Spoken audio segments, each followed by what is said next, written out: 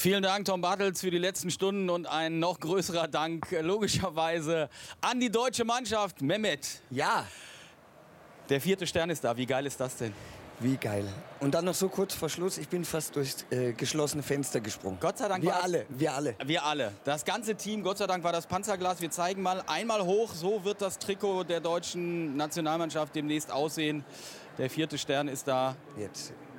Und auch das FIFA-Logo in Gold. Mehmet, wie ist dieser Sieg überhaupt? Ja, steck's ein. Ähm, wie ist dieser Sieg noch möglich gewesen, so kurz vor Schluss? Es war fast wie 1990, war auch fünf Minuten vor Schluss, jetzt waren es ähm, sieben Minuten vor Schluss. Das ist ganz typisch für Mannschaften, die an sich glauben, die zusammengewachsen sind. Ähm, sicherlich, wenn man jetzt das Spiel analysieren will, das kann man im Prinzip nur emotional, weil auf beiden Seiten viele Fehler passiert sind. Und am Ende hat die Mannschaft gewonnen, die das Siegen in diesem Turnier gelernt hat, die ge gemerkt hat, okay, man kann nicht ni- nur schön spielen und gewinnen, sondern manchmal muss man auch mal äh, 1-0 gewinnen und man spielt halt nicht so schön. Und darum geht es jetzt in diesem Turnier, dass sie bis zum Ende an sich geglaubt haben, eine Einheit waren und sind auch verdient Weltmeister geworden. Und dann mit so einem herrlichen Treffer. 113. Spielminute. Es war ein Joker-Tor in der Kombination. Nämlich André Schürle kam ja auch rein. Relativ früh allerdings für den verletzten Christoph Kramer. Und Aber dann tankte sich durch. Genau, dieser Willen, Willen in der 120., in der 150. so einen Lauf zu machen, den Pass reinzuchippen und das ist natürlich fantastisch. Das ist unfassbar, in diesem Moment diesen Ball so zu verarbeiten und gleich zum Abschluss zu kommen. Das zeigt die unglaubliche Qualität von Götze. Großartig, dieser Ball Dies- aus das- der Luft. Das können, also es können nur bestimmte Menschen. Wenn, wenn, es können auch Kinder probieren, das 18 Jahre zu trainieren und werden es trotzdem nicht hinkriegen. Das ist eine außergewöhnliche Begabung, die, ich- die uns da zum Weltmeister macht. Ich kann ja jetzt mal verraten, du hattest die ganze Zeit gesagt, pass auf Leute, da hier gleich passiert noch was. Die deutsche Mannschaft war äh, kurz vor Ende der regulären Spielzeit am Drücker. Und das meine ich mit Reife. Sie haben die Argentinier, die immer müder wurden und das konnte man sehen. Das Guck haben dir sie diese Bilder an, ist das genial oder was? Genial. Wahnsinn. Es haben sich immer nur noch zwei, drei Argentinier bemerkt und die Deutschen haben immer wieder den Ball laufen lassen. Und dann war klar, irgendeine Situation wird noch kommen. Wir wollen die Spieler hören. Mats Hummels jetzt bei Jürgen Bergener. Weltmeister Mats Hummels mit der Goldmedaille steht hier. Herzlichen Glückwunsch zu diesem Titel, Mats. Begreift man schon irgendwie? Ihr habt draußen gefeiert wie die Wilden. Ich bin einer von denen, die, äh, die sich dann erstmal sammeln müssen. Das war bisher immer so, das ist auch heute so. Also ich bin noch ein bisschen äh, natürlich auch geschuldet der körperlichen Erschöpfung. Bin ich noch nicht ganz so weit, dass ich richtig feiern kann. Aber ich habe gesagt, ich lege mich ins Bett und feiere morgen. Aber ich glaube, dass ich auch heute vermutlich noch in Form komme. Nochmal ein Spiel, ein Finale, das ein Ausrufezeichen setzt hinter die mannschaftliche Geschlossenheit, die ja so sehr gelobt wurde in den letzten Wochen.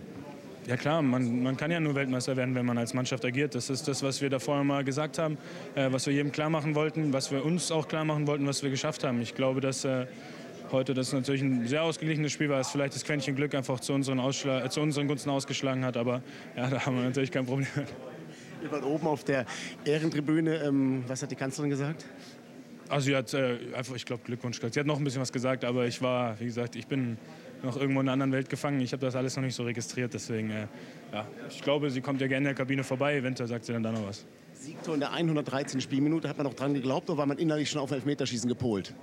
Ja, nicht gepolt, aber man hat es natürlich schon ein bisschen erwartet. Das war klar, die Verlängerung verlief relativ ereignislos in meinen Augen. Also vieles nicht passiert, außer der Chance von Palacio, als ich unterm Ball drunter herspringe. Ähm, ja, einfach auch geschuldet dessen, dass beide Mannschaften wussten, dass ein Gegentor jetzt das Ende bedeutet. Und dann ja, haben Schü und Mario das Ding natürlich relativ gut gemacht. Ne? Also äh, klar, habe ich mich auch mit anfreunden können. Jetzt geht's bunt weiter. Ja, mit Sicherheit. Ich weiß auch nicht, was passiert. Ich habe mich vorher nicht damit beschäftigt, äh, was jetzt danach an Feierlichkeiten ansteht. Ähm, es ging einfach darum, das Spiel zu gewinnen. Und jetzt kann man auch alles spontan auf sich wirken lassen in so einer Situation, denke ich. Viel Spaß dabei, danke.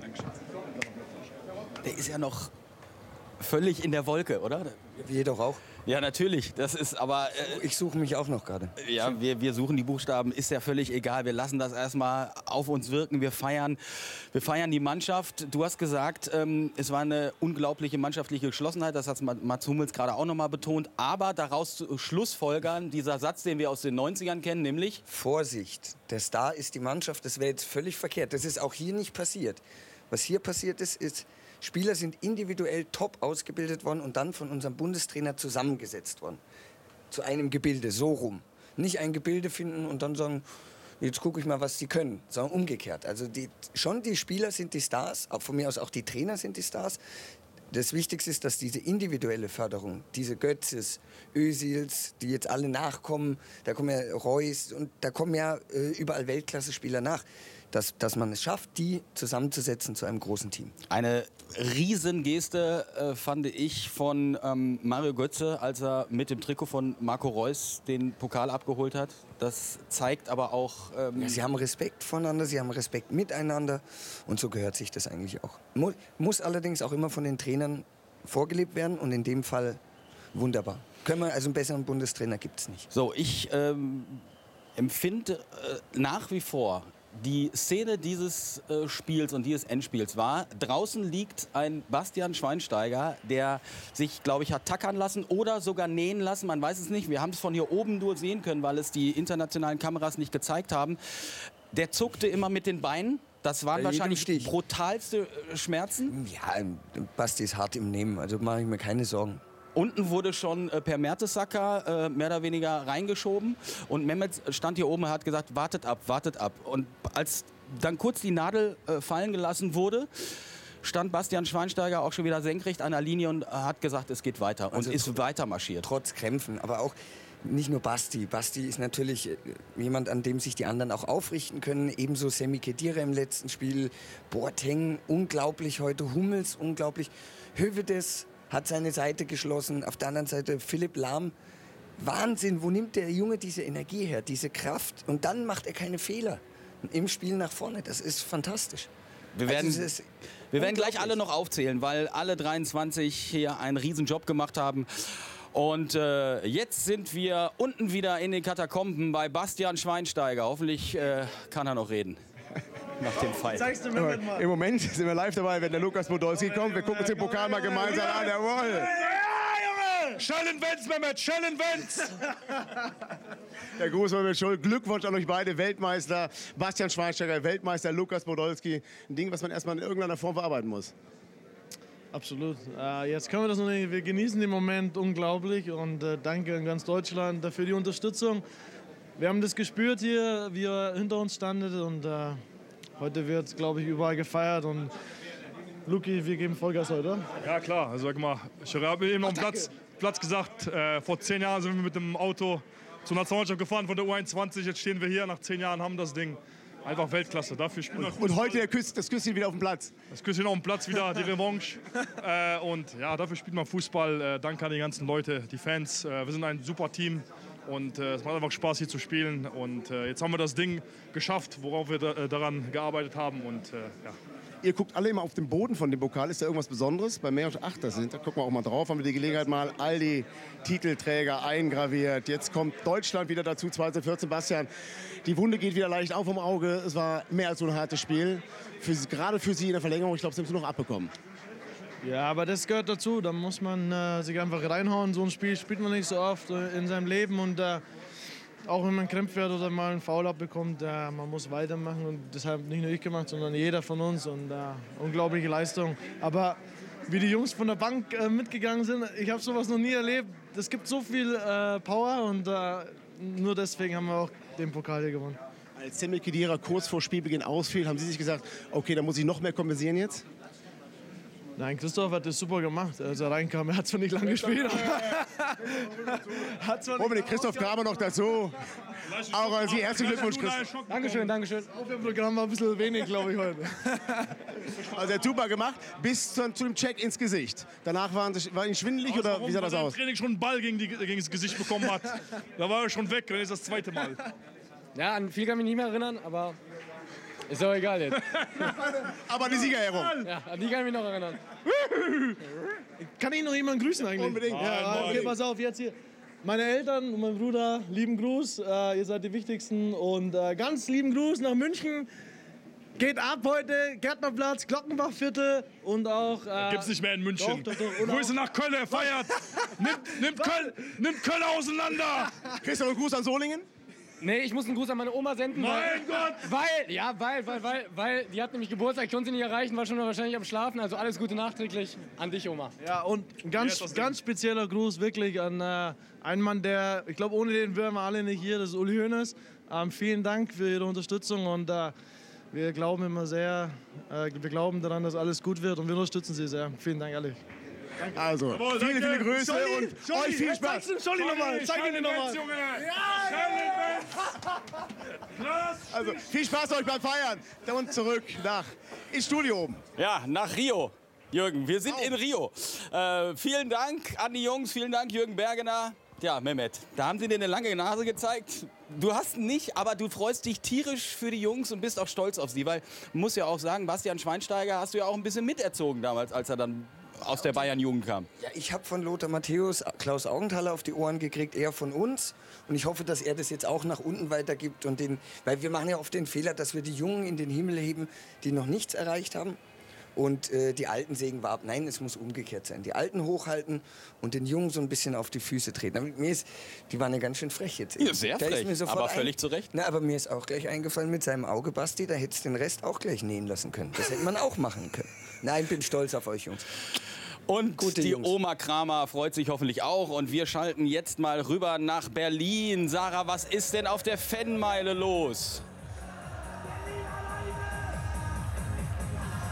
Ja, Matthias, also die Fans hier, die sind mindestens so gut drauf wie Schweinsteiger und Co. Also ich hätte das nicht gedacht, so eine Stunde nach dem Spiel ist hier echt noch immer die Hölle los.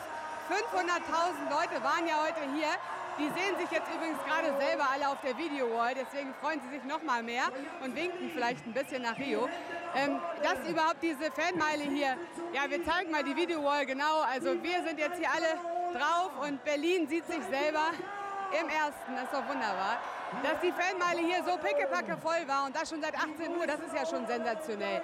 Dass dann hier alle ausharren, trotz Regens, trotz 120 Minuten Hochspannung, das ist auch schon eine Leistung, finde ich. Aber dass jetzt hier um ja, Viertel vor eins deutscher Zeit immer noch alle da bleiben und keiner nach Hause will offensichtlich, finde ich wirklich weltmeisterlich. Hier wird ein Song nach dem anderen gegrölt, gefeiert und alle sind richtig stolz und glücklich, dass wir Weltmeister sind. Ja, und man sieht das, glaube ich. Also von Müdigkeit gar keine Spur. Also die Kondition der deutschen Fans, die hält noch an und das ist auch gut so, denn genau hier wollen wir ja am Dienstagmorgen dann weiter feiern. Also ich kann eigentlich gleich hier bleiben, würde ich vorschlagen.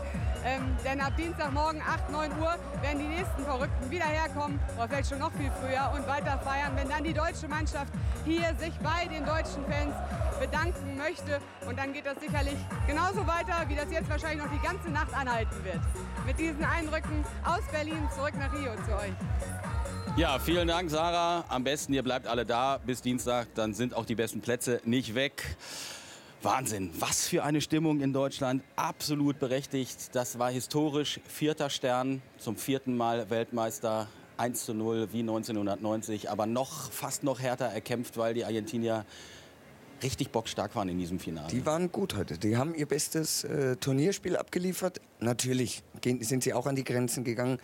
Sie konnten am Ende nicht mehr mithalten. Die Kräfte sind geschwunden und das war äh, auch ausschlaggebend dafür, dass wir noch diesen äh, entscheidenden Treffer erzielen konnten. erzielen konnten. Und äh, Miroslav Klose, äh, der liebevoll Opa genannt wird, zum Beispiel auch von Thomas Müller, der hat sich und auf seine Karriere die Krone gesetzt und ist jetzt im Gespräch bei Jürgen Bergener. Herzlichen Glückwunsch, Miroslav Klose. Endlich mal die goldene, nicht die silberne wie 2002. Fühlt sich gut an.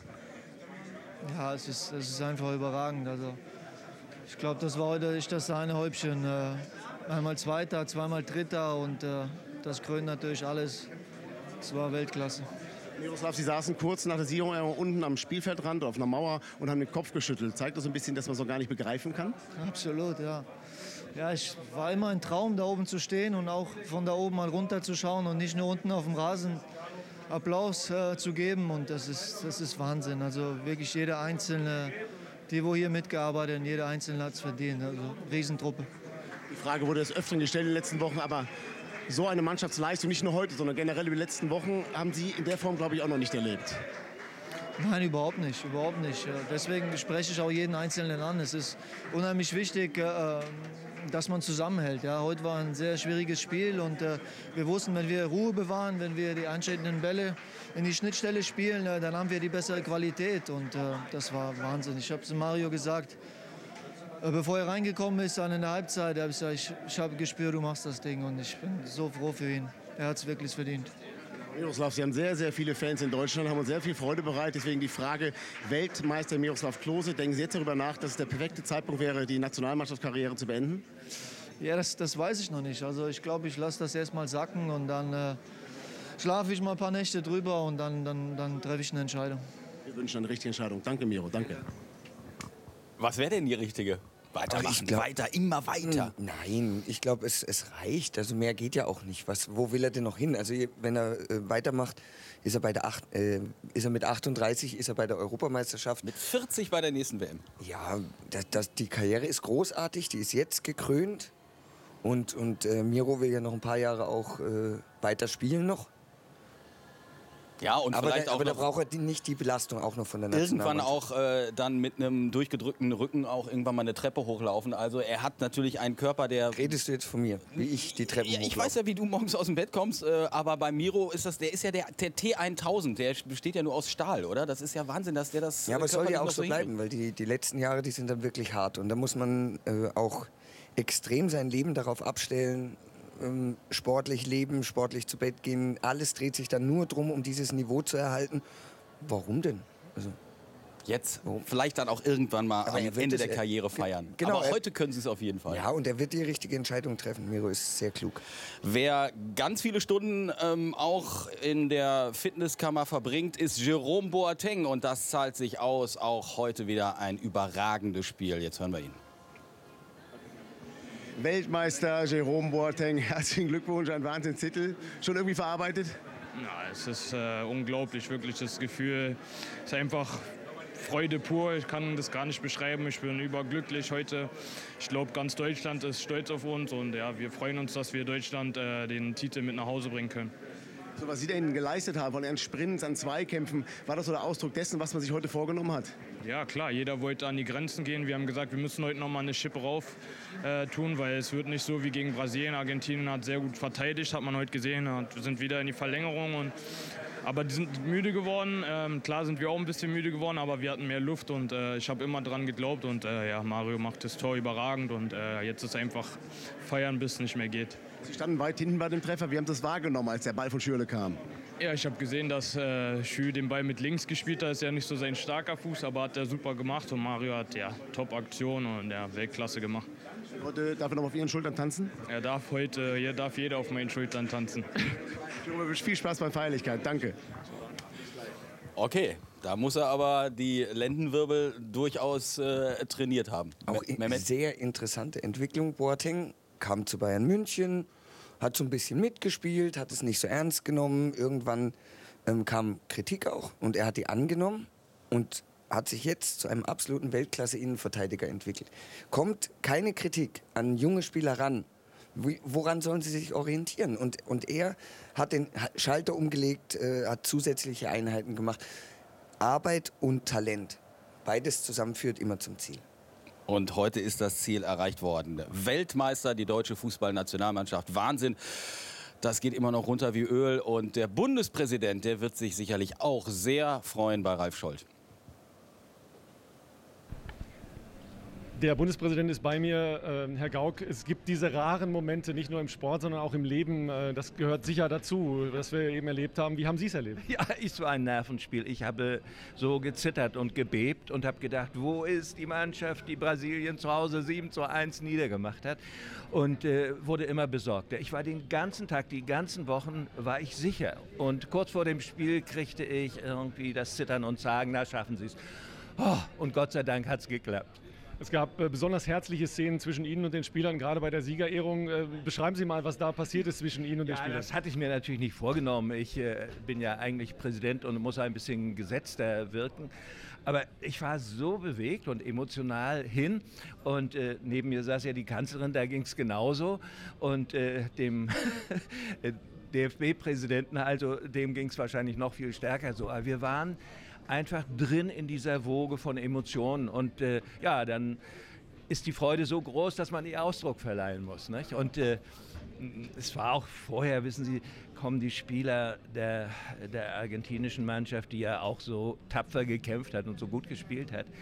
Und dann siehst du den leeren Blick, ja, und dann kommt dieser Wechsel, dieser, dieses Glücks. Und äh, unsere waren auch schon so, standen auch schon so äh, vor denen, die die Medaillen vergeben, wie die Argentinier heute. Und äh, naja, so, jetzt freut man sich, dass es so schön zu Ende gegangen ist. Es war ein wunderbares Turnier. Wir werden das niemals wieder in dieser Begeisterung erleben. Und die, diese Mannschaft war so großartig. Sie hatte Stars und war trotzdem eine Mannschaft. Das kann nicht jeder. Herzlichen Glückwunsch also. Und den DFB muss man ja auch beglückwünschen. Er hat ja nicht nur Stars, sondern unendlich viele Fußballspieler, die in den Vereinen äh, Deutschlands spielen und trainieren und auch mal so werden wollen wie die hier.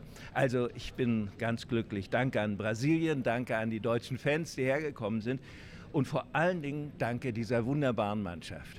Lassen Sie uns noch ein Wort über den äh, Gastgeber verlieren. Brasilien. Hat sich das Turnier äh, aus Ihrer Sicht für Brasilien gelohnt? Das kann ich nicht beurteilen. Ich bin jetzt nur zum Finale gekommen. Ich habe von Europa aus, von Deutschland aus gelesen, wie im Vorfeld protestiert wurde. In diesem Land gibt es größere Unterschiede als in unserem Land. Und äh, wenn gigantische Ausgaben gemacht werden und andere Menschen äh, suchen das Nötigste zum Leben, dann muss es äh, äh Widersprüche geben. Gott sei Dank ist während dieses großen Fußballfestes es nicht zu Eskalationen gekommen. Und äh, da sind wir alle, alle Fußballfreunde der Welt sind dankbar dafür. Was ich besonders interessant fand, ist, dass äh, Deutschland nach diesem super hohen Sieg über Brasilien hier im eigenen Land nicht Sympathien verloren hat und Aggressionen auf sich gezogen hat, sondern die Brasilianer haben unsere Mannschaft äh, ja, gewürdigt, kann man geradezu sagen. Sie haben sich gefreut über die Jungs und haben äh, gefunden, ja, das wäre schön, wenn wir auch mal so spielen. Also so haben wir auch einmal auf die Brasilianer geguckt. Und äh, ich denke an die ganze Zeit, wo wir die so bewundert haben. Denke aber auch heute an, an ein Spiel genau vor 60 Jahren, 1954, als ich am Rundfunk saß und äh, Rahn müsste schießen hören. Und heute bin ich hier auf, äh, auf, diesem, auf der Tribüne von diesem herrlichen Stadion und erlebe diesen großartigen Sieg mit. Nein, es ist unbeschreiblich. Vielen Dank, Herr Bundespräsident. Mhm. Und wir schauen uns die Szene jetzt nochmal an vom Abpfiff da sehen wir, jawohl, das ist ja, das ist ja eine Laola in Perfektion. Die machen zu dritt eine Laola und einer macht nicht mit. Ja, aber Dilma Rousseff gibt auch einen Gratulationskuss an Angela Merkel. Aber das Blatter, war... Blatter hat auch mitgemacht, hat man aber nicht gesehen. Nee, das stimmt. Der Herr braucht das Kistchen dann immer noch äh, unter den Füßen. Nein, ist doch schön, wenn, wenn alle so mitgehen. Wir sind ja auch abgegangen hier oben. Wahnsinn, das stimmt. Also. also es gibt auch, und ganz oben ist man auch abgegangen, Mehmet. Gratulation von der ISS. Unser Astronaut Alexander Gerst, der hat sich selber, das ist doch mal Heimarbeit, ganz oben unterm Dach, hat sich den vierten Stern angeklebt und gratuliert zum Weltmeistertitel. Und derjenige, der den entscheidenden Treffer vorbereitet hat durch eine tolle Aktion über den linken Flügel, den hören wir jetzt. André Schürle bei Jürgen Bergener. Weltmeister. André Schürle, Weltmeister. Nicht nur auf der Plakette, sondern auch in echt, richtig Weltmeister. A-Jugend deutscher Meister bisher das Größte und jetzt das. Unglaublich, unglaublich. Ich kann es gar nicht, gar nicht begreifen, als der Schiri plötzlich abgepfiffen hat. Ich wusste gar nicht, was ich machen sollte. Ich habe plötzlich sind mir die Tränen gekommen vor den ganzen Gefühlen und alles. Und ja, jetzt will ich einfach nur feiern. Wir sind unglaublich happy. Die, dieser Pokal ist so wunderschön, unglaublich als ich ihn schon vor dem Spiel gesehen habe, die wieder geglänzt hat und jetzt in meinen Armen und in unseren Armen. In ganz Deutschlands Armen, morgen in Berlin und übermorgen. Unglaublich. Sie haben jetzt schon ein bisschen Wasser in den Augen, aber Sie haben auch maßgeblich waren Sie daran beteiligt, äh, vor allem an dem Siegtreffer. Eigentlich war es Ihr schwacher Fuß, ne, mit dem Sie vorbereitet haben. Ja, ich, ich sehe, dass äh, fürs Tripling nur mein linker Fuß frei ist und dann versuche ich mit letzter Kraft, wir waren ja alle am Ende und mit letzter Kraft irgendwie den Ball noch zu flanken und Mario steht perfekt und macht das unglaublich. Das Tor war unglaublich schön und danach kann ich mich an nichts mehr erinnern. Wir nur noch jubeln, nur noch Emotionen, dann pfeift er ab und äh, dann war eh alles vorbei. Gibt es irgendwelche Planungen? Ihr habt ja schon draußen mördsmäßig gefeiert, euch einige Sachen zugerufen, so in Blickrichtung der kommenden Nacht? Das ist alles offen. Äh, wir werden auf jeden Fall keine Sekunde schlafen. Wir werden komplett durchmachen bis in den Flieger morgen, bis nach Berlin und dann mit den Fans noch eine Riesenfeier abreißen und ja, dann, dann einfach noch ein paar Wochen weiter feiern. Viel Spaß und Glückwunsch nochmal. Danke. Ja, das wird noch ordentlich in die Kondition gehen, aber das macht ja auch Spaß und ist völlig verdient. Und es gibt einen Tweet aus der Kabine von Jens Grittner, dem Pressesprecher des DFBs. Wir sind Weltmeister und guck mal, mit hohem Besuch. Der Bundespräsident, die Kanzlerin, alle sind da. Und nur Mesut Özil hat sich schon so ein bisschen was abgelegt. Aber das hat Tradition. Immer wenn die Kanzlerin kommt, hat er kaum was an. Ist es so? Ja, Weiß ich nicht. Das, er hatte auch schon mal nur ein Handtuch. Aber wahrscheinlich ähm, ist es nur purer Zufall. Ich hab's nicht Mir ist es nur jetzt an dieser äh, Stelle aufgefallen. So, und der goldene Schütze des entscheidenden Tores. Über den hat Bernd Schmelzer noch mal eine tolle Beobachtung. Da stand er dann und konnte das alles irgendwie nicht so richtig glauben. Was war denn hier bloß passiert gerade? Er, der Matchwinner, Mario Götze, eingewechselt für Klose, Deutschlands Jolly Joker also. Mit ihm kam nochmal richtig viel Schwung ins deutsche Spiel. Götze präsentierte sich lauf- und kampfstark wie selten, hatte gute 22 Ballkontakte und gewann 56 Prozent seiner Zweikämpfe. An drei Torschüssen war Götze beteiligt. Sein zweiter Versuch saß. Nach 113 Minuten Mario Götze machte Deutschland zum Weltmeister 2014.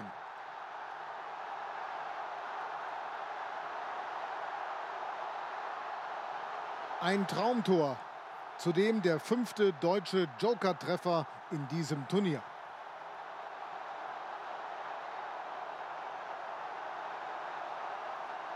Der häufig kritisierte Münchner plötzlich der Matchwinner.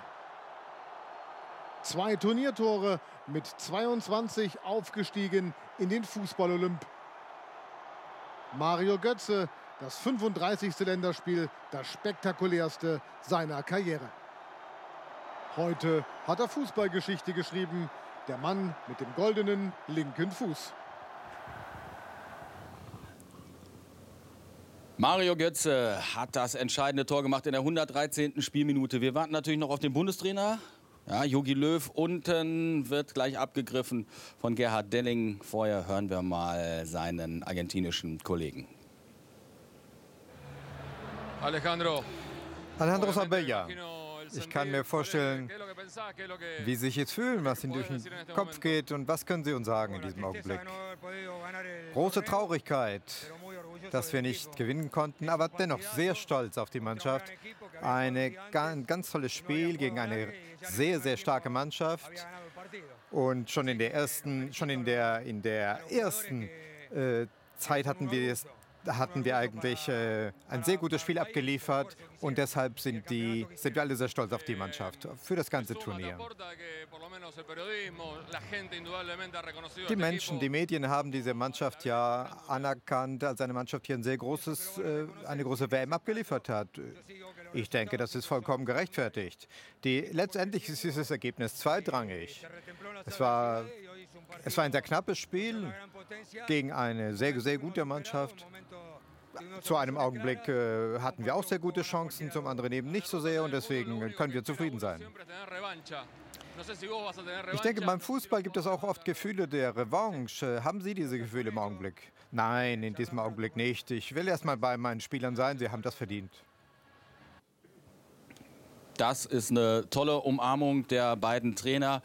Und er hat hier wirklich auch Größe gezeigt bei diesem Turnier, denn es wird gemunkelt, dass ähm, Lionel Messi nach, dem, nach, den ersten 45 Minuten im ersten Spiel ähm, gegen Bosnien die ganze Taktik ein bisschen umgeschmissen hat und äh, gesagt hat, Trainer, wir müssen das anders machen. Er hat es, glaube ich, so verkauft, äh, dass er diese wichtigen Spieler auch anhört.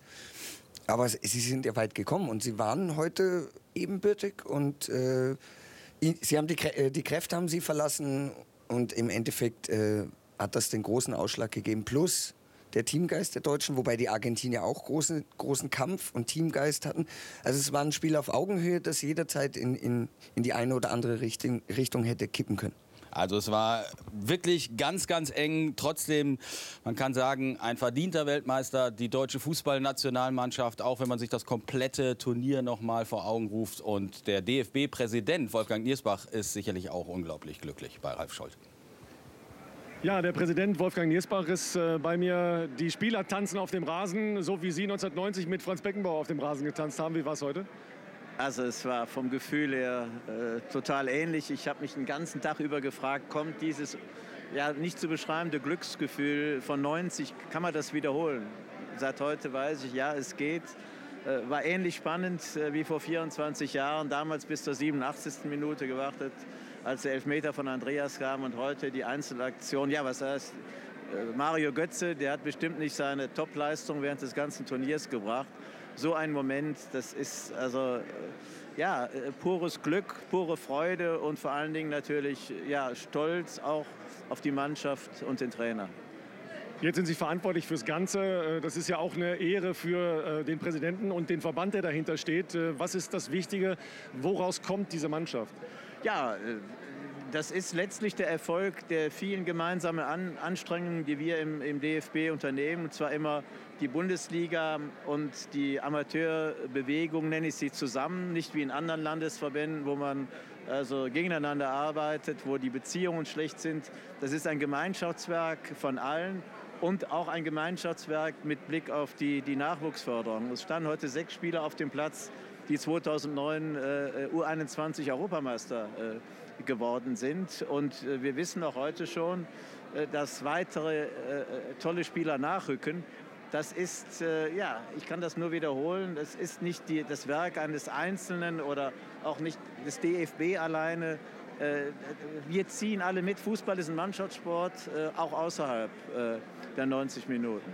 Maracanã-Finale am 13. Juli, das klingt magisch. Äh, was bedeutet das und äh, was wird daraus für den Fußball in den nächsten Jahren? Ja, also mehr geht ja gar nicht. Wir haben den 4. Juli Bern, wir haben den 7. Juli München, wir haben den 8. Juli Rom und jetzt haben wir auch den 13. Juli Maracanã als erste europäische Mannschaft auf dem amerikanischen Kontinent äh, gewonnen.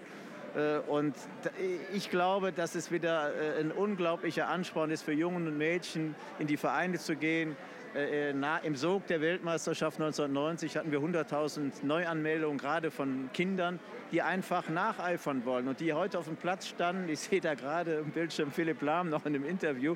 Die kommen ja aus ganz kleinen Vereinen, die haben ja nicht ganz oben äh, top angefangen. Und das, das, das ist das Beste, was, was uns passieren kann, dass wir so über diese Top-Mannschaft die acht Wochen äh, lang ohne, ohne den geringsten Konflikt äh, auf dieses große Ziel hingearbeitet hat, dass die einfach äh, Motivation, Ansporn gibt für nachrückende Generationen. Joachim Löw hat es möglich gemacht mit seinem Team, hat jetzt den Pokal. Meinen Sie, er ist in zwei Jahren auch noch der Trainer für die deutsche Nationalmannschaft? Ja, ich habe ja nie was anderes gesagt. Der Vertrag ist verlängert. Hätten wir das nicht gemacht, vermute ich mal, würden Sie mich jetzt fragen, machen Sie es nächste Woche oder hat er andere Angebote? Nein, die, die Sache ist klar. Und er hat ja selber dieses wunderbare Beispiel gegeben mit Blick auf den spanischen Trainer Vicente del Bosque. Äh, der hat gesagt, also jetzt bin ich Weltmeister geworden und das nächste Ziel ist die Europameisterschaft und die ist 2016 in Frankreich.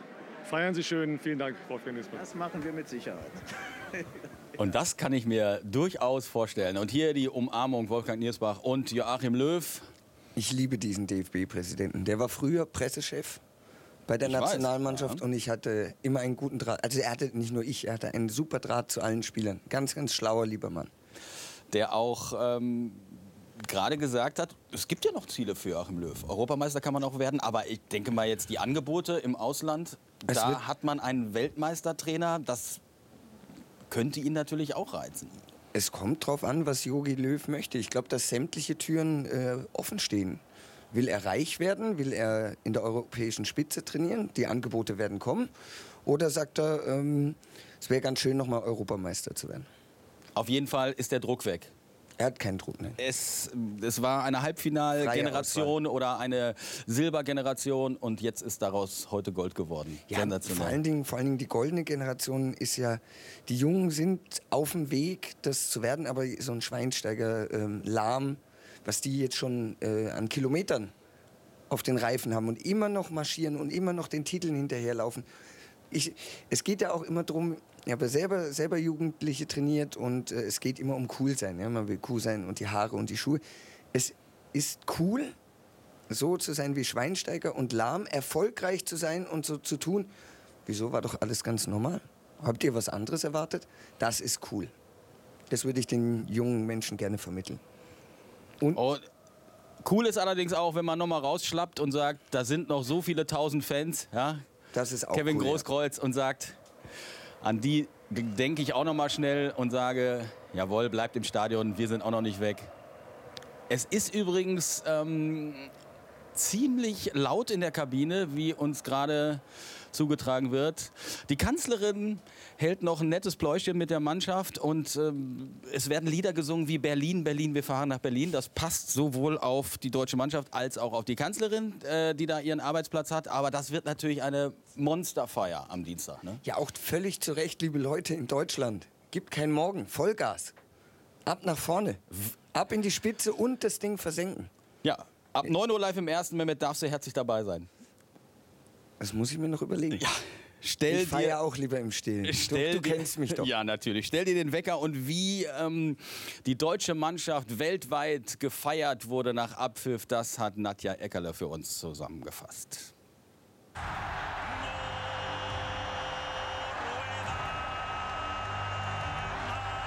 Südamerikas Stimmgewalt zelebriert das Finale. Es geht nicht weiter. Hier im Maracana, wo sich Ruhm und Ewigkeit vereinen. Live, live bei uns auf Univision wird Deutschland Weltmeister.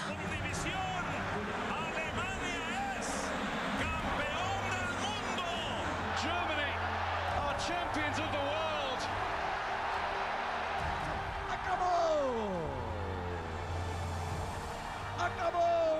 Es ist aus, es ist aus. Deutschland ist Weltmeister. Zum vierten Mal Weltmeister rufen die Brasilianer von TV Globo wie einst Herbert Zimmermann. Wir müssen Deutschland kopieren, sagt Ronaldo. Sie haben ein Beispiel gegeben, dass man nicht nur mit Einzelspielern, sondern mit einer Mannschaft arbeiten muss. Und so klang das Tor im Vereinigten Königreich. Götze trifft für Deutschland. Er ist der coolste Mann in Rio. Selbst die Kanzlerin hält nichts mehr auf dem Sitz. Ein symbolischer Schütze, einer aus der jungen und begabten Garde, bringt Deutschland in Führung. In den Schlussminuten des WM-Finales, so sagen die Kommentatoren der BBC. Javier Zanetti sagt, wenn man die Chancen gegen Deutschland nicht nutzt, dann wird es schwierig. Argentinien hat alles gegeben und danach wurde das Spiel entschieden durch ein großes Tor, von dem er glaubt, dass es allen gefallen hat. Und Gary Lineker zitiert sich selbst. 64 Spiele, 171 Tore, 20 Männer am Ball, 120 Minuten lang und am Ende, muss ich das wirklich sagen, am Ende gewinnt Deutschland. Ja, Gary, den Spruch kennen wir von dir und den benutzt er und hat ihn benutzt sehr gerne, auch während dieser Weltmeisterschaft. Und da sehen wir Joachim Löw. Ich glaube, auf, den, auf dem Weg zu uns ins Kellerstudio, ist das so? Das sind die Live-Bilder. Also, wir werden draufbleiben, bis er die Tür aufmacht und vor ihm Gerhard Delling sitzt.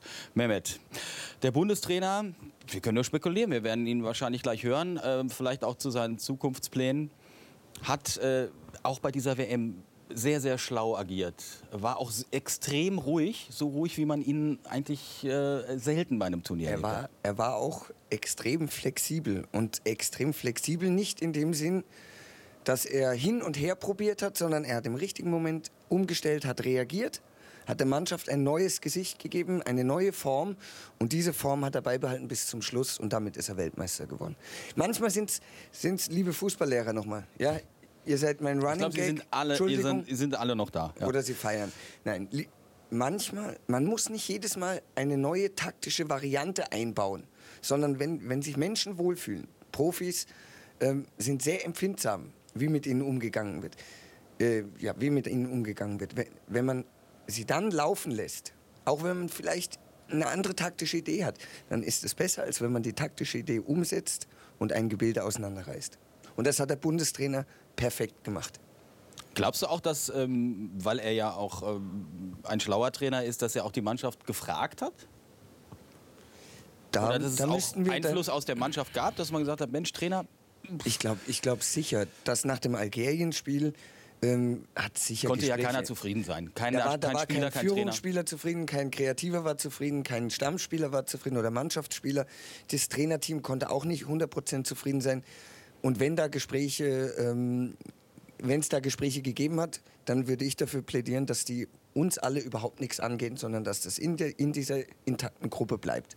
Entscheidend ist das Ergebnis und besonders das von heute Abend. Und, und es geht uns auch nichts an, wie es zu dieser Weltmeisterschaft gekommen ist. Wir würden es alle gerne wissen, aber wenn es in der Mannschaft bleibt, ist es okay. kann der Bundestrainer ja selber entscheiden, ob er das heute preisgibt. Auf jeden Fall herzlichen Glückwunsch an Joachim Löw und seinen kompletten Trainerstab zur Weltmeisterschaft 2014 in Brasilien. Gratulation von hier oben, Joachim Löw und jetzt ihr beide da unten. Glückwunsch. Danke dir, danke, vielen Dank. Ja, Gratulation auch von mir, Joachim Löw. Ähm, war sehr bewegend, hat man gesehen. Also ähm, bei vielen waren auch ein paar Tränen mit dabei. Freudentränen, Schmerzentränen zwischendurch vielleicht höchstens mal. Aber das hat sich nachher alles ausgezahlt. Erzählen Sie mal, es war ein schweres Stück Arbeit heute. Ja, das war uns eigentlich äh, immer klar, dass die Argentinier natürlich ähm, alles irgendwie mobilisieren und alle Kräfte freisetzen bei so einem Finale, klar. War ein hartes Stück Arbeit. Die Spieler sind weit über die Grenzen gegangen. Sie haben heute, sagen wir mal, so viel gegeben wie noch nie, um das zu erreichen, was sie noch nie hatten, nämlich diesen Pokal mit nach Hause zu nehmen. Zusammengegeben, alle haben immer wieder darauf hingewiesen, es war dieser großartige Teamgeist und auch beim Feiern eben hat man das gesehen. Ähm, würden Sie sagen, das ist hier entstanden während der Zeit in Brasilien oder war das schon angelegt? Ja, wir sind jetzt, äh, glaube ich, äh, 55 Tage zusammen. Aber ich glaube, die Arbeit hat begonnen vor zehn Jahren äh, mit Jürgen Klinsmann äh, damals. Und äh, wir haben das fortgesetzt. Äh, wir haben alles dafür getan, um diesen Tag zu erleben. Und ich glaube, die Mannschaft ähm, hat es absolut verdient. Niemand hat es so sehr verdient wie wir. Das muss man sagen. Die Mannschaft hat einen unglaublichen Teamgeist entwickelt in diesen letzten Wochen. Sie war wirklich eine, eine verschworene Einheit, die... für diesen Titel gekämpft hat. Jeder Einzelne, jeder Einzelne hat sich irgendwie auch verpflichtet, für die Mannschaft alles zu geben, für die Mannschaft alles zu tun, seine ganze Energie. Und das war sicherlich ein wesentlicher Grund, dass wir heute gewonnen haben. Aber es war am Ende schon fast so ein bisschen was wie ein Familienausflug, wenn ich die Bilder gesehen habe, wie Sie noch jede einzelne Spielerfrau dort äh, selber auch beglückwünscht haben und die Sie beglückwünscht haben. Also da ist äh, in der Tat eine ganze Menge zusammengewachsen, kann man gar nicht anders sagen. Ähm, ich habe nur beobachtet, in der Halbzeit zur Verlängerung sind Sie zu Mario Götze gegangen und haben ihn mal kurz ins Kinn gekniffen. haben Sie ihm dann den letzten Tipp gegeben? Irgendwie hatte ich das Gefühl, dass er irgendwie heute was Entscheidendes machen kann, weil der Mario ist ein Spieler, der Spiele entscheidet und der außergewöhnliche Dinge macht. Und irgendwie hatte ich das Gefühl, ähm, dass er heute das Ding hier zu Ende bringt. War auch irgendwie fällig, nicht? Der war erst in der Mannschaft, dann haben Sie ein bisschen umdisponiert. Ist das etwas, was auch so langsam in Ihnen gereift ist oder ist Ihnen das schwer, schwer gefallen? Es gab ja auch zum Beispiel mit Philipp Lahm erst auf der 6, dann auf der Außenposition. Das ist ja eine Entwicklung. Wie schwer ist Ihnen das gefallen, da von der grundsätzlichen Marschroute schwer abzugehen? gefallen. Ich meine, äh, am Anfang war es so, dass halt eben Basti Schweinsteiger, Sammy Kedira nicht zu 100 Prozent fit waren. Und da war die Maßnahme für mich klar, dass diese beiden Spieler ähm, nicht ein, ein Turnier mit sieben Spiele bei dieser Intensität durchstehen. Das war mir irgendwie klar, dass wir irgendwie so ein bisschen diese Aufgabe teilen müssen. Und am Anfang war es richtig, den Philipp ins Mittelfeld zu stellen, weil er ganz einfach auf dieser Position klasse spielt. Vorm Frankreich hatte ich das Gefühl, die, äh, das Gefühl, die Mannschaft braucht jetzt vielleicht einen neuen Reiz. Und Kedira und Schweinsteiger sind jetzt dran. Jetzt haben sie irgendwie so ein bisschen Kräfte gesammelt in den ersten, bei den ersten Spielen, weil Kedira hat zweimal nicht gespielt, äh, Schweinsteiger nicht äh, gespielt. Und ähm, dann waren sie einfach auch bereit. Und ähm, dann war diese Maßnahme dann eigentlich auch äh, richtig. Aber es bleibt dabei, ist auch immer so eine Entwicklung und der Tra Bundestrainer ist der, der am nächsten dran ist mit seinem Stab, der auch sieht, wer äh, dann im richtigen Augenblick fit ist. Ähm, würden Sie sagen, das war jetzt so das i-Tüpfelchen auf das, was Sie bisher schon gemacht haben? Sie haben ja gesagt, zehn Jahre ist das schon jetzt her. Sie sind in den zehn Jahren immer mindestens im Halbfinale gewesen. Was fehlte, war der Titel. Ähm, das erleichtert zumindest die Arbeit, oder? Ja, das macht es natürlich schön. Das ist äh, eine Sache für die Ewigkeit, die ersten Europäer zu sein, die hier in Südamerika, in Maracanã, in Rio, in dem Fußballland schlechthin, dann auch, ähm, sagen wir mal, den ersten Titel zu gewinnen, den die Europäer jetzt gewonnen haben. Es war zehn, zehn Jahre lange harte Arbeit, klar. Wir haben uns aber in diesen Jahren kontinuierlich gesteigert. Wir sind immer besser geworden, haben immer an uns geglaubt und ähm, es war jetzt einfach auffällig. Mhm. Aber ich meine auch für Sie persönlich. Äh, Für mich persönlich ist das natürlich auch ein, ein, ein toller Erfolg, klar, weil ich habe gesehen, dass die Mannschaft sich auch entwickelt. Das macht den Trainer auch zufrieden, wenn eine Mannschaft sich auch verbessert. Und wir sind spielerisch in den letzten Jahren in die Weltspitze gekommen. Wir haben ähm, uns da äh, verbessert, weil nur mit deutschen Tugenden wäre es nicht gegangen, wäre es nicht mehr gegangen. Also wir mussten auch spielerisch zulegen. Und äh, das haben wir gemacht. Das war für mich natürlich auch eine große Befriedigung, aber das ist natürlich klar, das ist natürlich das Allerhöchste jetzt. Und der Mix macht es natürlich. Die deutschen Tugenden waren ja heute auch wieder dabei. Äh, sind aber jetzt in einer Reihe mit Sepp Herberger, Helmut Schön, Franz Beckenbauer und Joachim Löw. Das sind die vier, die den WM-Titel geholt haben. Und es gab einige im Vorwege, die haben gesagt, also hm, wenn er den WM-Titel holt, mehr kann man ja gar nicht erreichen. Aber kann man doch. Man kann diese Mannschaft noch weiterentwickeln. Tun Sie das? Kann man sicherlich, weil diese Mannschaft ist ja äh, jetzt nicht irgendwie am Ende. Da gibt es vielleicht, ich weiß nicht, den ein oder anderen Spieler bei Miroslav Klose, muss man mal gucken. Aber ansonsten können alle. gesagt, er macht bis 40 ungefähr weiter. Ja, ihm, ist alles Nein, nein. zuzu- ihm ist alles zuzutrauen. War noch ja, also- ich wäre nicht überrascht. Ja, genau. nee, aber diese Mannschaft ähm, hat natürlich immer noch Zukunft. Wir haben noch einige Spieler, die nicht dabei waren, Gündogan oder Marco Reus und so weiter. Und diese Mannschaft ist jung, Kedira und äh, Özil und so weiter, Götze, also sind alles junge Spieler. Mhm. Die haben sicherlich noch was vor sich. Das heißt, Sie machen weiter. Ja, jetzt heute Abend äh, darüber zu reden, ist eigentlich, äh, na, ich habe einen Vertrag. Ja, wollte ich gerade sagen. Also ist so eigentlich alles und- bereitet. Aber Gibt Zweifel? Nein. nein, muss mal mit dem Präsidenten nochmal reden, aber ich denke nicht. Ich Der, denke nicht. der hat schon gesagt, er ist äh, erstens begeistert und zweitens voll davon überzeugt, dass das auch so weitergeht. Sie sind ja jetzt ein bisschen später heute gerade hierher gekommen, weil eine ganze Menge los gewesen ist in der Kabine, habe ich gehört. In der Kabine sind natürlich auch alle Dämme gebrochen, das ist äh, klar. Mein, äh, die Kanzlerin war da und der Bundespräsident äh, haben kurze Ansprachen gehalten. Die Spieler, die jubeln natürlich, klar. Und ähm, es sind keine Grenzen mehr gesetzt jetzt. Das heißt, heute Feuer frei. Ich kann nur sagen, hat uns alle sehr mitgerissen. War ein anstrengendes Stück Arbeit für die Spieler und für Sie. Kann ich mir nicht nur gut vorstellen, sondern haben wir auch gesehen. Ähm, wir können noch mal ganz kurz blicken über die Begeisterung in Deutschland. Haben Sie in der letzten Zeit auch immer wieder äh, miterlebt. Es gab äh, Riesenbilder aus Berlin von der Fanmeile 500.000. Dann wurde die geschlossen. Es ging nichts mehr und wie wir gerade uns überzeugen konnten, sind eigentlich die meisten auch immer noch da.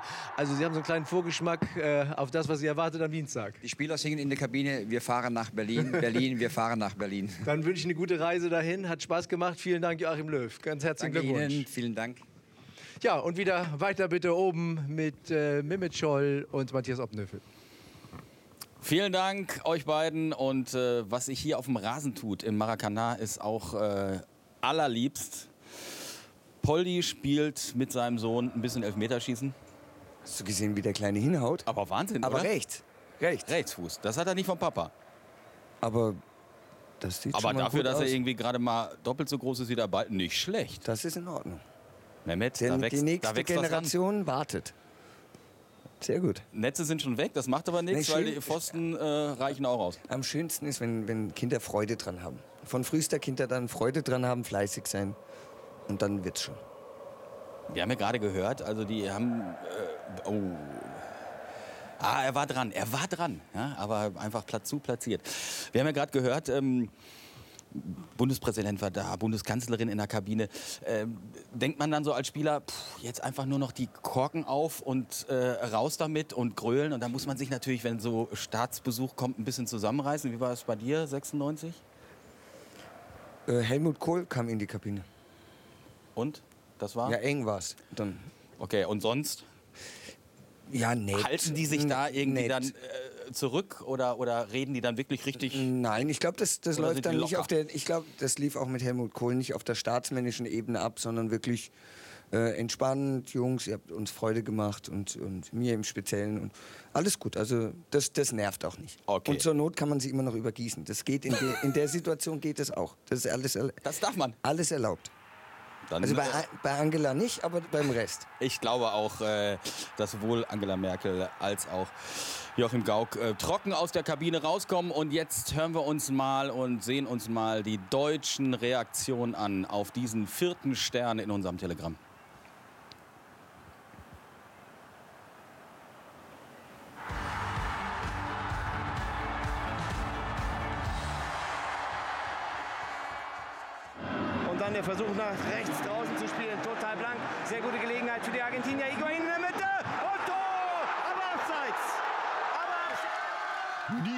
Ich das Abseits mehr geliebt, Holy. F Das allerbeste Abseits der Welt. Und die deutschen Fans haben die Hände gehoben, haben sie erwartungsschwanger in der Luft. Da nach vorn, Kopfball, Pfosten, nein! Jetzt Günter Koch hören, der Pfosten, der blöde Pfosten, geh doch einen Schritt nach rechts, du Pfosten! Der Fußballgott ist halt kein Schalker, auch nicht bei der WM. Der ist ja konsequent. Gesteckt auf Messi. Messi mit Ball am Fuß. Messi. Schuss. Und nein. Kein Tor. Kaum läuft das Spiel eine Minute lang, erleide ich schon fast den nächsten Herzinfarkt. Der Ball landet bei Götze. Der nochmal zurück zu Scholle. Und dann beide Fäuste hochgerissen. Nachschusschance für die deutsche Mannschaft abgewehrt. Wir hätten uns zwei Tore bei Brasilien für jetzt aufsparen sollen. Auf Palacio. Palacio mit der Brust. Angelo Palacio mit dem Lupfer. Und dann ist Boateng da. Jetzt noch acht Minuten zu spielen in der Verlängerung. Danach gibt es dann Elfmeterschießen. Und jetzt äh, kommen sie nochmal die Deutschen über die linke Seite. Ball kommt in die Mitte rein. Die Möglichkeit für Götze. Tor! Tor für Deutschland! Mario Götze macht das 1 zu 0! Oh mein Gott, ich fasse es nicht. Noch sieben Minuten durchhalten und wir sind Weltmeister. Und jetzt der Schluss. Deutschland ist Weltmeister! Ja! Und, ja! Und hier die Glückszahlen. 1, 3, 7, 2, 0, 1 und 4. 13.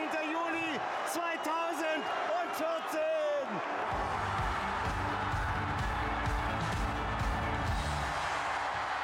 Wahnsinn.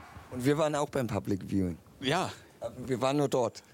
Richtig. Wir, ja, wurden, wir wurden gesehen. Wir waren nur äh, vor, der, vor der Scheibe. Grüße nach Berlin, wenn ihr alle noch da seid und überhaupt, wo große Leinwände aufgebaut sind. Äh, wir freuen uns, dass die Stimmung in Deutschland so euphorisch ist. Ist ja auch klar. Sieben Spiele und dann kommt am Ende der Weltpokal um die Ecke. Wahnsinn. Sven Kaulbars fasst das nochmal für uns zusammen. Da ist er. Da ist das, was mehr ist als nur ein Ding. Der Pokal, der vierte Stern, der Titel. Ein Foto für die Ewigkeit. Ein Trainer, der sich belohnt hat. Endlich Weltmeister. Der Torschütze Mario Götze, eingewechselt, eingeschlagen. Bastian Schweinsteiger, der getackerte Racker und all die anderen Weltmeister 2014, der 13. Juli, mehr als nur ein Datum. Fünf Wochen ist es her. Die deutsche Mannschaft guckt etwas sparsam auf dem Weg die Rampe hinunter. Ab jetzt wird mit wachsender Begeisterung die Fähre benutzt. Es geht über den Rio João de Tiba. Deutschland sticht in die WM. Auf der anderen Flussseite Einzug ins Campo Bahia. Das deutsche Quartier im Bundesstaat Bahia, direkt am Atlantik durchaus kommod. Und am Meer. Mit dieser beruhigenden Wirkung findet der Bundestrainer offensichtlich Inspiration. Vielleicht fliegt ihm hier dieser spezielle Begriff zu, mehr als nur eine Worthülse. Spezialkräfte. Und nicht etwa Fachkräfte. Von Beginn an spricht Löw mit Vehemenz, nachdrücklich eindringlich. Und immer dann, wenn er es ernst meint, erklingt der doppelte Löw. Wir haben WM-Teilnehmer, 23 WM-Teilnehmer hier,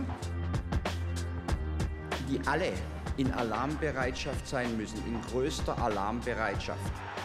Und sie sind bereit, Alarm zu machen. Portugal, erstes Vorrundenspiel 4 zu 0. Müller, Müller, Müller. Thomas Müller, drei Treffer. Ancora lui, Thomas Müller. Number three, Thomas Müller. Chance für Thomas Müller, fast immer Tor. Sicher drin. Sein vierter WM-Treffer reicht gegen die USA und Miro Klose, einmal von der Leine gelassen, erzielt als spezialkräftiger Joker gegen Ghana den Ausgleich, sein insgesamt 15. WM-Tor. Für Deutschland, Klose hat's gemacht, da ist der Rekord. Nur diese Leichtigkeit, die sich am Strand von Santo André vermittelt, täuscht. Sammy Khedira unter dem neckischen Kopftuch gibt den Tritt seiner Verlobten gleich mal öffentlich weiter. Wir hätten das Spiel ähm, schneller machen müssen, äh, den Ball schneller laufen lassen müssen. Khedira meint das USA-Spiel. Ballkontrolle ja, aber es geht dann doch etwas sehr breit in die Breite. Und das mag er nicht, der Bundestrainer. Was wir verbessern können, optimieren können. Letzte Pass in die Spitze. Ne? Dafür passt die spitzenmäßige Charmoffensive. Kontakt am Platz, in der Schule, in der Nachbarschaft und am Strand. Entspannt die Seele baumeln lassen, Punkte, Sympathiepunkte sammeln. Wir würden uns natürlich freuen, klar, wenn die neutralen Zuschauer oder die brasilianischen Zuschauer unsere Mannschaft unterstützen. Das wäre natürlich für uns auch natürlich äh, eine große Freude. Freude kommt nicht so richtig auf. Manuel Neuer muss Kopf und Kragen riskieren. Achtelfinale gegen Algerien. André Schürle und Mesut Özil fixieren erst in der Verlängerung das mühevolle 2 zu 1. Die Diskussionen entbrennen. Um Mesut Özil, der sich eher verzettelt, als dass er verzaubert. Auch um Joachim Löw, der erst verletzungsbedingt umdisponiert. Philipp Lahm gibt sein Okay und wechselt von der 6 auf hinten rechts. Nein, nein, nein, nein, nein, ich bin jetzt nicht äh, derjenige, der absolut beratungsresistent ist. Wir hinterfragen uns ständig. Und Per Mertesacker fragt nach dem Algerien-Spiel angesäuert. Mit geschwollenem Kamm. Was wollen Sie? Wollen Sie eine erfolgreiche WM oder sollen wir wieder ausscheiden äh, und haben schön gespielt? Also Gehen Sie da mit? Also zum Ersten ist eine WM oder so ein Turnier immer auch vor alle Dinge ein ergebnisorientierter Wettbewerb. Also am Ende muss man diese Spiele gewinnen.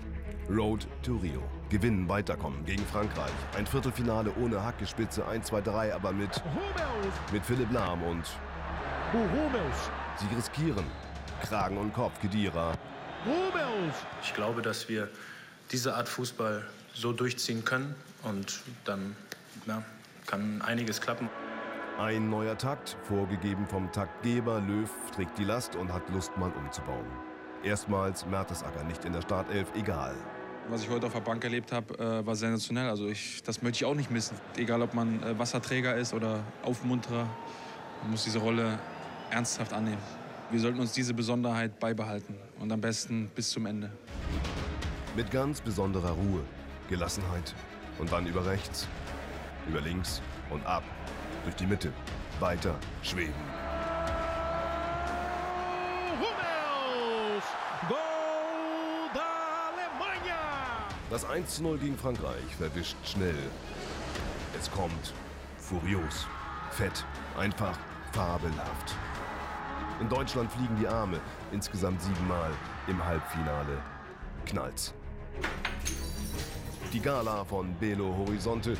Kein Land sehen sie, die Brasilianer. Toni Kroos, zweimal. Kedira, Müller, Klose, WM-Treffer Nummer 16. Schürle, zweimal. Am Ende 7 zu 1. Brasilien vernascht, verputzt, verschluckt. Ja, die haben mir dann irgendwo auch ein bisschen leid getan. Und ganz am Ende werden sie veralbert. Nur Deutschland spielt, Brasilien gar nicht da. Aber Vorsicht. Im allgemeinen Tumult die Ruhe bewahren. Wir, wir wissen, dass wir noch nichts erreicht haben. Eine finale Fahrt mit der Fähre. Zum Abschied ein Feuerwerk, damit es ein Feuerwerk werden möge. Abschied aus dem deutschen Quartier. Freitagabend am Fähranleger von Cabralha. Den Brasilianern Tschüss sagen. Wird schon. Daumen hoch. Ja, es wird. Aber es dauert. Verlängerung. Alle platt. Da greift sich Joachim Löw den eingewechselten Mario Götze, als wollte er sagen, los jetzt. Und es geht los. Schürle. Der kommt an! Mach ihn! Mach ihn! Er macht ihn! Mario Götze! Das ist doch Wahnsinn! 113. Spielminute, das Tor des Finals. Die Münder offen, die Welt staunt. Ach was, es ist so verdient. Ein Trainer und sein bester Mann. Bastian Schweinsteiger bekommt auf die Socken, bekommt an den Kopf. Er wird getackert, macht weiter und lässt dann einfach laufen. Schön. So schön. Die Nacht gehört dieser Mannschaft, dem Trainer, dem Team Deutschland. Die FIFA-WM im Ersten. Das Finale Deutschland gegen Argentinien. Die Übertragung präsentiert vom Sony Xperia Z2 Smartphone. Und Bitburger.